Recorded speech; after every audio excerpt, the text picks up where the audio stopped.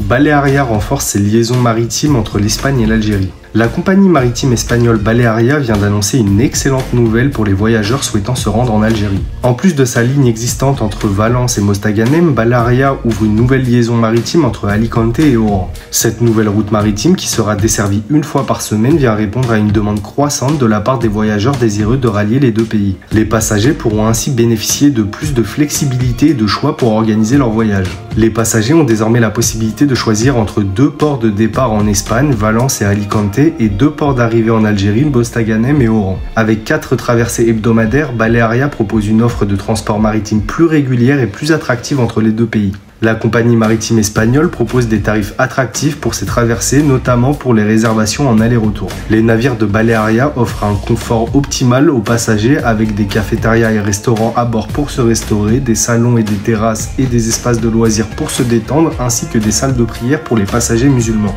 Cette nouvelle ligne maritime contribue à renforcer les échanges entre l'Espagne et l'Algérie, tant sur un plan économique que culturel, elle facilite les déplacements des touristes entre les deux pays.